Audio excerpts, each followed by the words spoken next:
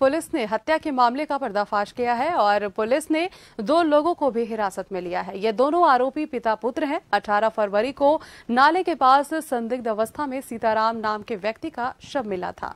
मौके पर मौजूद साक्ष्य के आधार पर पुलिस ने हत्या की आशंका जताते हुए जाँच शुरू की। पुलिस के मुताबिक मृतक ने महिला से अवैध संबंध थे और इसी बात से नाराज़ महिला के पुत्र और उसके पति ने सीताराम को मौत के घाट उतार दिया।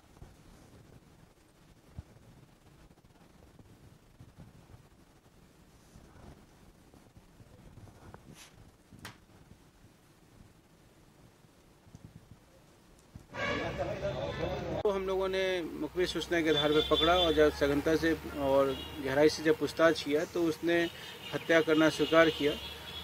हत्या का कारण ये था कि उस महिला, उसकी माँ से संबंध थे, उस मृतक के। और घटना वाली रात जो है, वो रात साढ़े बारह बजे उससे टेलीफोन पे बात करके, मोबाइल द्वारा बात करके, वो उससे मिलने, उसे घर आ गया था। और जब वो कुत्ते भूखे तो वो लड़का जग रहा था, दिलीप नामक। वो उसने देख लिया था और उसने उसको पत्थर मारा और जब वो भागा है, उसके बाद उसने कुल्हाड़ी मार के उसकी हत्या कर दी।